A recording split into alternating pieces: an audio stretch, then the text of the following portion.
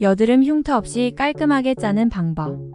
요즘은 외모에 대한 관심이 더해져 여드름 흉터를 없애는 것이 중요해지고 있어요.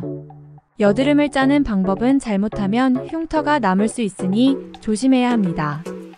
여드름을 깔끔하게 짤 수 있는 방법에 대해 알아보겠습니다. 첫째, 억지로 짜지 말기.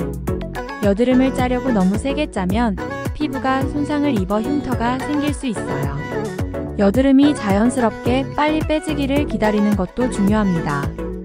둘째, 손을 깨끗하게 세정해주세요.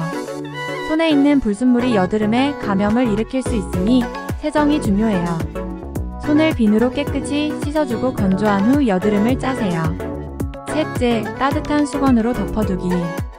여드름을 짜기 전에 스팀 타올로 여드름 주변에 피부가 부드럽고 열이 모공을 열어주기 때문에 여드름 짜는데 도움을 줄 수 있어요. 넷째, 살균된 면봉이나 화장솜을 사용합니다. 이렇게 하면 여드름을 압출할 때 피부를 최대한 보호할 수 있습니다. 여드름 주변 피부가 감염되는 것도 예방할 수 있어요. 다섯째, 여드름 짠 후에 적절한 관리를 해주세요. 여드름을 깨끗하게 짠 후에는 적당한 치료 크림이나 진정 크림을 발라주는 것이 좋아요. 이렇게 하면 흉터가 덜 생길 수 있습니다. 요약하자면 여드름은 세세하게 관리해야 흉터 없이 깔끔하게 짤 수 있어요.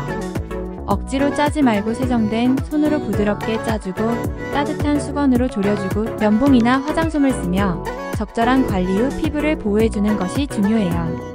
건강한 피부를 유지하고자 노력하는 것이 더 중요하니 여드름을 짜는 것에 대해 신중히 다뤄주시길 바랍니다. 감사합니다.